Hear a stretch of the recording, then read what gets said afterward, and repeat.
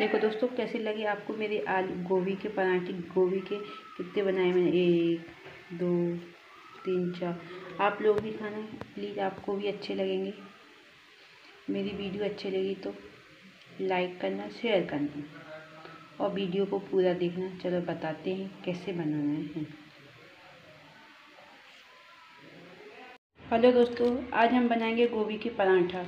कैसे बनाते सब लोग अलग अलग स्टाइल से बनाती हैं, मैं भी नई स्टाइल से लूँगी जी, मैंने गोभी को अच्छे से वॉश करके और ग्रेट करके रख ली है। किस लिए इसको देखिए? कितनी बारीक किस लिए मैंने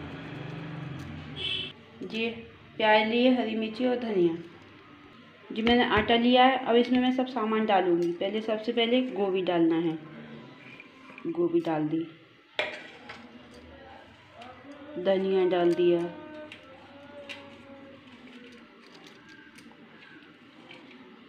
प्याज हरी मिर्ची डाल दी। आप इसमें हरा लहसुन, हरी प्याज डाल सकते हो, अगर है तो। नहीं है तो कोई दिक्कत नहीं। और जो मैंने नॉर्मली प्याज डाली है। ठीक है? और इसमें डालूँगी लाल मिर्ची। लाल मिर्ची डाली है। और नमक स्वाद अनुसार। और हल्का सा मेरे को इसमें रिफाइंड ऑयल डालना है, हल्का सा, जिससे उसका वो बन जाएगी।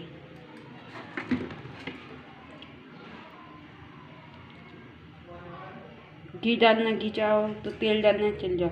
अब मैं इसको अच्छे से मिक्स करके और आटा गूँथ लूँगी। कर लूँगी, अच्छे से मिक्स करके और अब मैं इसमें आटा बना लूँगी, आटा गूँथ लूँगी।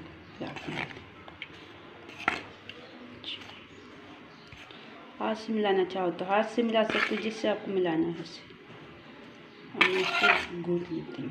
आटे का डो बना लेती हूँ। ये मैंने डो बना के रख दिया अच्छे से।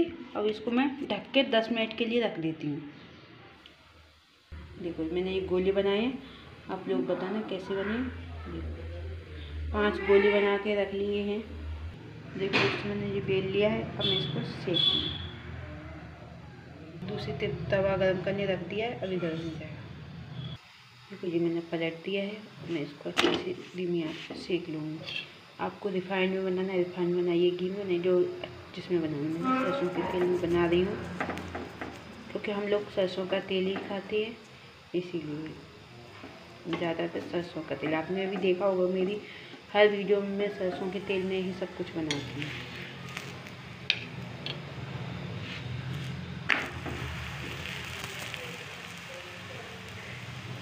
सरसों का तेल, अभी सर्दियों में खाओगे तो कोई दिक्कत नहीं है अच्छा गर्म रहता है और हेल्दी भी है। रिफाइंड से तो सरसों का तेल बहुत अच्छा है।